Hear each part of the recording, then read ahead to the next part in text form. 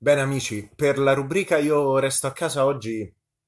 vi proponiamo una lettura un po' differente dalle solite. Eh, si tratta di un testo letterario molto citato in questi giorni eh, che ha effettivamente un impatto dirompente per leggere le dinamiche attuali eh, di natura profondamente umana, di approccio a una tragedia come quella che stiamo vivendo di scala globale eh, e questa lettura eh, è quella ultracitata di Albert Camus, La peste, un libro davvero molto molto eh, bello, eh, profondo, che pone interrogativi eh, seri eh, e che tratta la eh, vicenda storicamente non,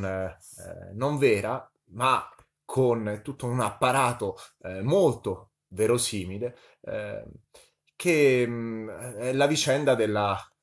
peste in un anno imprecisato degli anni 40 del Novecento, eh, occorsa nella cittadina eh, coloniale francese in Algeria di eh, Orano. E allora ci sono alcuni passaggi che pur essendo eh, ovviamente eh, letterari, eh, appartenenti a quell'ambito, ci inducono a riflettere anche sugli aspetti politici, se vogliamo geopolitici, che stanno accadendo in questo scenario globale profondamente critico. Eh, primo aspetto, c'è la perdita delle certezze che riguardano, nel caso del libro, eh,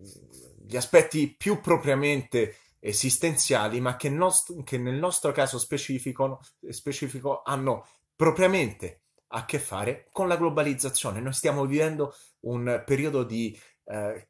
mutamento, di cambiamento, di transizione, di crisi eh, dalle certezze precedenti che appartenevano al mondo eh, proprio della globalizzazione ad un mondo futuro. Noi siamo dentro questo eh, vortice eh, che in qualche maniera eh, ricorre nelle parole di eh, Camus, ma soprattutto e ancora di più si ravvisa il senso della profonda chiusura. La perdita delle certezze ha anche a che fare con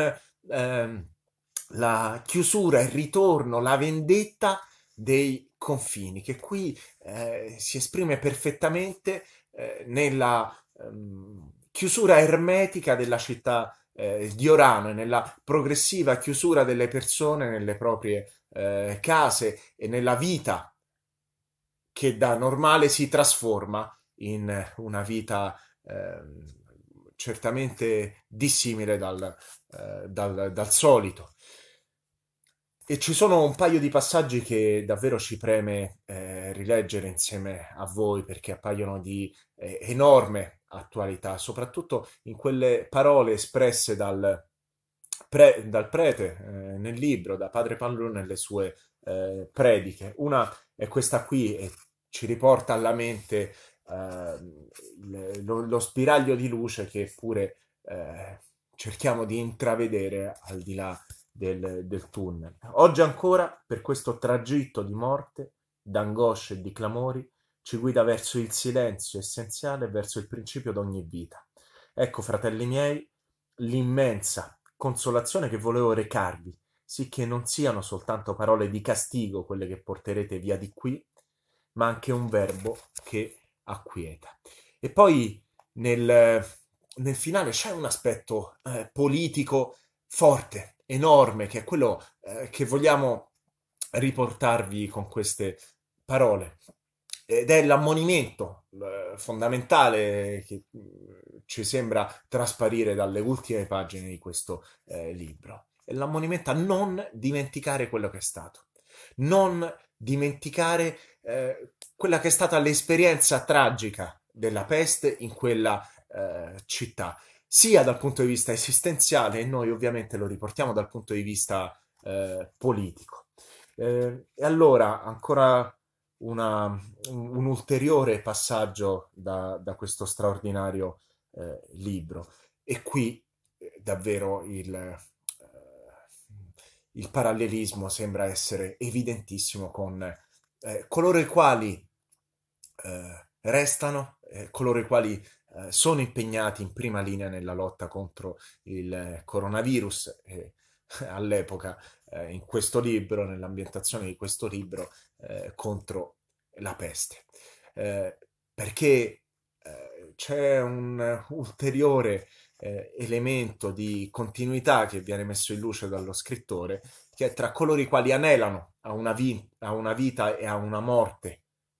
sante,